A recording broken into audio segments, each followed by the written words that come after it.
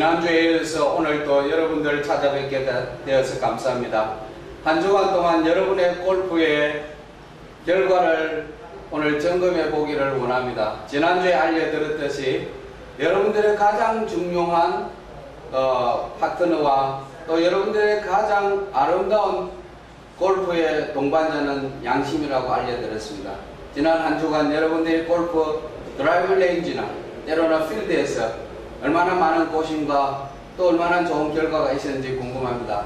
지난주에 소개한 것과 같이 여러분들 가운데서 염소궁뎅이는 아니었지만은 소궁뎅이에서 맞고 홀리는 분도 계실 줄 저는 바람 마지 않습니다.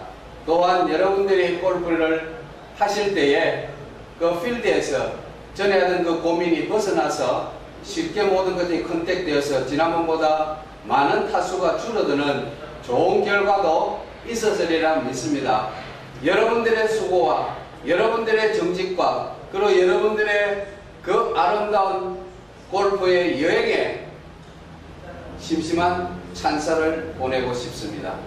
그리고 오늘은 이제 여러분들이 연습장에 가서 어, 하셔야 되는 여러 가지 주의사항이나 또 여러분들이 연습장에서 어, 실수할 수 있는 것들을 줄이는 그러한 것들에 대해서 여러분들에게 소개하기를 원합니다. 첫째, 많은 사람들이 가장 선호하는 것이 바로 이 드라이버입니다. 이 드라이버는 그 말 뜻대로 여러분들이 바로 컨트롤해야 된다는 사실입니다. 그래서 만약에 이 driving이 잘못되었을 때는 second shot이나 또 third shot, 그린에서 퍼터까지 많은 실수를 유발하게 되고 여러분들이 가지고 있는 mental problem으로 인해서 많은 고민에 빠지게 되는 원인이 바로 이 드라이버라는 사실입니다. 그래서 오늘 이 드라이버 활용법에 대해서 이제 알려드립니다. 이 드라이버는 회사들이 이제 많고 특히 외국에서 또 때로는 어, 한국같이 중고, 어, 중소기업에서 많은 드라이버를 개발해서 사용하고 있습니다. 근데 가장 중요한 것은 자기 체형이나 키에 그리고 자기의 스타일에 맞는 드라이브를 선택해야 된다는 사실입니다. 첫째, 모든 사람들이 시작을 잘못하게 되면 우리 한국 속담에 첫 단추를 잘 끼라는 말이 있습니다. 그렇습니다. 그래서 많은 사람들이 driving range에 가면 항상 먼저 꺼내는 것이 아이언 몇 번 이제 치다가 드라이브를 꺼내서 있는 힘을 다해서 가상적인 필드를 염두에 두고 힘차게 driving 하는 것을 보게 될 것입니다. 그러나 드라이브만으로서 모든 것은 해결되지 않는다는 사실을 누구나 알 것입니다. 그래서 이 드라이브를 가장 먼저 우리가 컨택을 하고 가장 먼저 우리가 사용하게 되는 첫 번째 이유는 많은 거리를 우리가 요한다는 사실입니다. 아마 연세가 드신 분 외에는 grand senior 외에는 아마 이 드라이버를 가지고 파스에서 치는 분은 별로 많지 않으리라 생각합니다.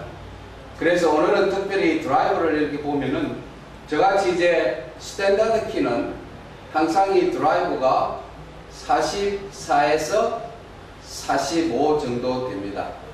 그러나 이보다 더 긴 것을 원하는 어, 키가 큰 분들은 또 다 자기들 나름대로 피딩을 해서 이것을 쓰게 되는데 오늘날 이 외국 브랜드를 가지고 있는 드라이브는 우리 체형에 사실 맞지 않는 경우가 많습니다. 그래서 한국에 있는 많은 중소기업들이 연구하고 또 애선 결과 한국 사람의 체형에 맞는 드라이브를 개발해 오고 있습니다.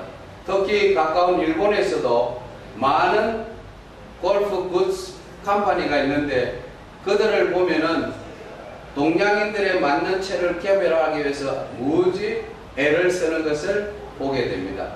그래서 오늘 우리가 가장 먼저 필요하는 드라이버 선택과 그리고 드라이버 활용법에 대해서 여러분들에게 소개하게 되겠는데 첫째는 여러분들이 드라이버를 구입하시기 전에 driving range나 그렇지 않으면은 이 시타를 할 수 있는 장소에 가서 거기 있는 채를 다 치보는 것입니다. 그러다 보면은 자기의 손에 feeling이 오는 채가 분명히 있습니다. 그래서 그게 10가지나 5가지든 때로는 7가지든 많은 것을 여러분들이 적어도 공 10개 이상을 쳐보셔야 아 이것이 나한테 맞는구나.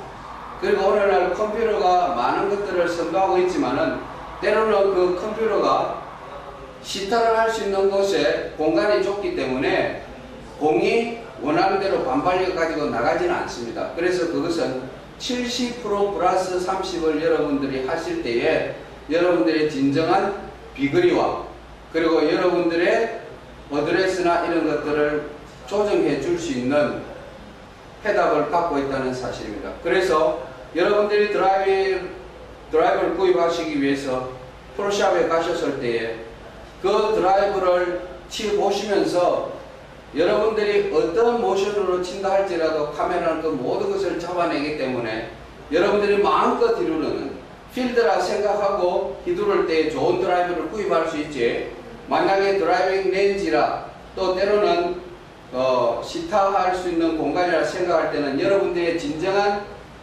풀스윙이나 여러분들이 믿고 하는 어떤 testing이 되지 못한다는 결과도 있다는 사실을 알려드리고 싶습니다. 그래서 여러분들이 드라이브를 구입하실 때에 물론 때로는 가격을 따지는 분도 많습니다. 또 가격이 싸다고 나쁜 채만은 아닙니다. 또 second은 또 used 클럽이 있기 때문에 여러분들이 좋은 클럽을 선호하면은 또 중고 골프 shop에 가거나 인터넷에 보면은 또 여러분들에게 맞는 채들이 많이 나와 있습니다. 그러나 그런 것들을 구입하기 전에 먼저 오리지널 shop에 가서 거기 있는 시타채를 먼저 다 치보고 나중에 선택하는 것이 여러분들이 후회하지 않는 이 드라이브의 사용법의 첫째 조건이라는 것입니다. 자, 그러면 이제 우리가 그 과정을 거쳐서 드라이버를 구입했다. 그 이후에 그럼 어떻게 할 것인가?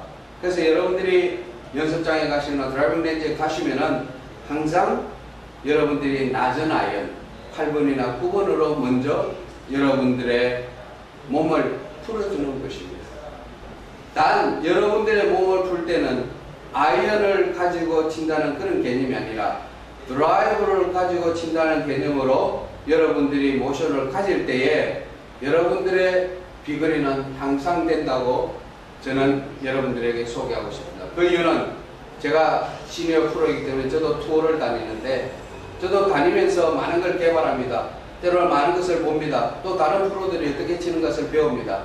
그래서 제가 어, 에시안 SPGA 어, 커미셔너로 봉사하게 된, 되었는데 그 이유는 많은 사람들에게 요구하는 것이 아니라 많은 사람들을 도와주고 그 사람들이 진정한 성과로 또 그 골프를 통해서 많은 스튜덴이나 company들이 업그레이드 할 수 있는 기회를 제공하기 때문에 제가 그 자리에 지금까지 봉사하게 된 것입니다.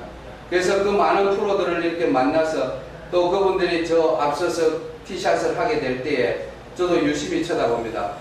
과연 내가 만약에 지금 driving range에 돌아가서 나의 student 나의 학생들에게 가르치게 될 때에 저 가운데 어떤 분은 뚱뚱한 분도 있고 어떤 분은 마르신 분도 있고 어떤 분은 또 키가 작거나 키가 큰 분도 있습니다.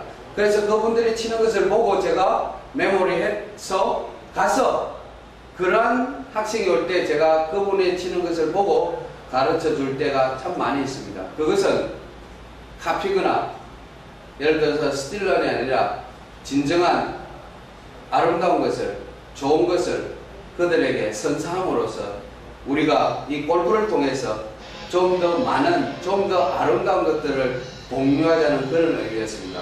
그래서 여러분 어떻게 하든지 이 드라이버를 잘 구입하시고 구입하실 때 선택을 하실 때는 항상 보통 다섯 번 이상의 여러분들이 테스팅을 통해서 결정하시고 또 중요한 것은 certified 된 프로가 필요하다는 사실입니다. 그래서 여러분들이 좋은 프로와 좋은 선생님을 만나서 이것을 이제 활용하게 되는데 무엇보다도 드라이버를 잘 치기 위해서는 아이언을 잘 쳐야 된다는 사실을 염두에 두시기 바랍니다. 그래서 여러분이 드라이버를 치실 때에 드라이버를 가지고 driving range에 가서 드라이버만 치시고 오는 분도 있습니다. 그러나 그것은 어, 잘못됐다는 것보다도 순서가 좀 바뀌었다는 것을 여러분 알려드리고 싶습니다.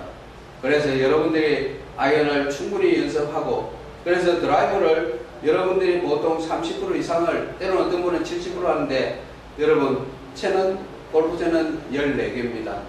그래서 클럽이 14개듯이 여러분들이 만약에 140개의 공을 친다면 10개씩 나눠서 하게 될 때 모든 평균을 따라서 여러분의 타수가 줄어들고 여러분의 골프의 실력은 향상될 것입니다. 그래서 어떠한 상황 속에서라도 여러분들이 비중을 드라이브만 두지 마시고 아이언을 잘 칠 때에 드라이브가 잘 된다는 그런 일념을 가지고 여러분들이 좋은 결과를 내어서 제가 지나간 이야기지만은 제가 파4 360야드에서 홀린을 하는 일이 있습니다. 그래서 그때 시상식을 할 때에 필리핀 new Tiger Woods 그렇게 저를 호칭하는 걸 보았습니다.